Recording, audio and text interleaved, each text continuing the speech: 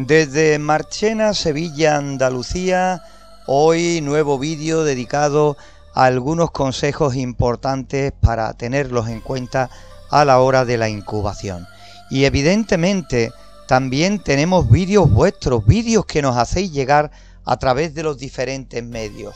Uno de ellos, el último que hemos habilitado y que no es otro que un número de WhatsApp que tenéis en la descripción del vídeo. Hablaremos sobre el forzado de la entrada o salida del aire en el interior de nuestra incubadora casera, algo que ya sabéis que para incubadoras de pequeño, mediano tamaño, nosotros basándonos en nuestra experiencia no recomendamos.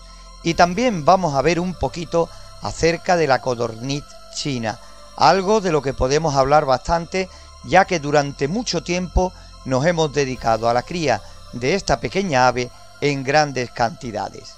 De todo esto y también de alguna de vuestras experiencias irá el vídeo de hoy, sobre todo siempre centrándonos en la incubación y, como no, en las incubadoras caseras. Quería mostrar, mirá, uno recién salido, mirá, bramo armiñado, las plumitas en las patas, otro que ya está sequito de acá, bramo armiñado, un lote de pollitos que han ido saliendo en la incubadora y apenas se ven un poco sequitos ya los voy pasando para acá.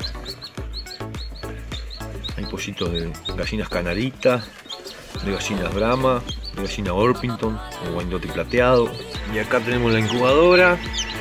Mucho huevo picado varios pollitos que van saliendo, van secándose. Estos son de gallinas brama, las que tienen plumas en las patas, esta es un brama armiñado. Tenemos la otra incubadora. Ah, justito está saliendo uno ahí. No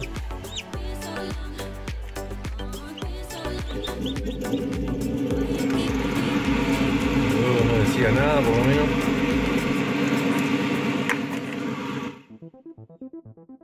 Y ahora aprovechando un vídeo de otro compañero de nuestro canal que nos comentaba el tema este de un agujero con un ventilador y demás, pues queríamos hacer algunas aclaraciones eh, del tema del forzado del aire eh, hacia adentro o sacándolo, extrayendo el aire de nuestra incubadora. Ya digo que nosotros en incubadoras de mediano tamaño no utilizamos este sistema por una sencilla razón Imaginaros que estamos, por ejemplo, en invierno y hay un contraste enorme de temperatura en el exterior con los 37-38 grados de dentro. Si forzamos la entrada del aire, estaremos creando corrientes de aire frío a diferente temperatura en el interior de la incubadora. Y ya ni te cuento si ese aire que entra del exterior frío va a dar directamente a la sonda. ¿Qué conseguimos con esto? Que automáticamente volvemos loco nuestro termostato y por lo tanto te aseguro que también la temperatura en el interior. ¿Y qué ocurre con todo esto? Pues bien, que si a lo mejor estamos incubando en primavera-verano con una temperatura más alta, a lo mejor la incubadora llega a irte bien porque eh, la diferencia de fuera a dentro no es tanta y no va a notarse dentro esa diferencia de temperaturas.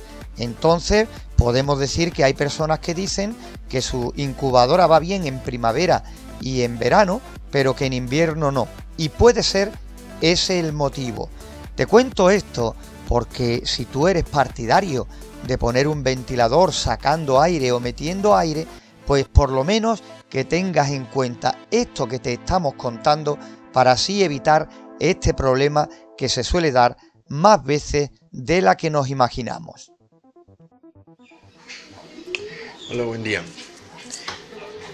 Mira, aquí tiene este hueco que ahí está el ventilador.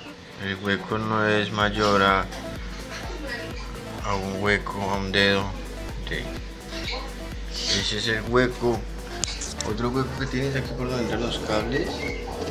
Tampoco es muy grande que se diga. De resto todas las partes donde las puertas todo lo sellé para que no quedara completamente sellada.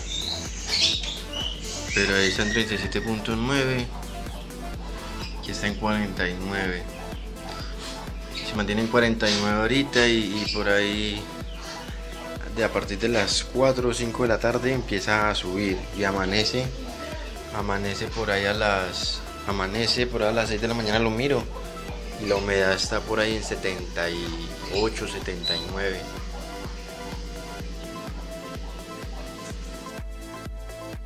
Nuestro compañero pues nos comentaba que tiene problemas con la humedad relativa y nosotros siempre recomendamos que en lugares donde tengamos estos altibajos con la humedad relativa, ya sea de día, ya sea de noche y demás, que pongamos un higrostato. Un higrostato que nos controle la humedad relativa y que así siempre nos la mantenga prácticamente en los mismos parámetros. ¿Qué ocurre? Que también somos conscientes de la dificultad en algunos lugares de conseguir materiales, de conseguir componentes electrónicos para hacer nuestra incubadora. Pero simplemente pues hacerle mención para saber que con esto podríamos solucionar ese problema y quién sabe si en el futuro...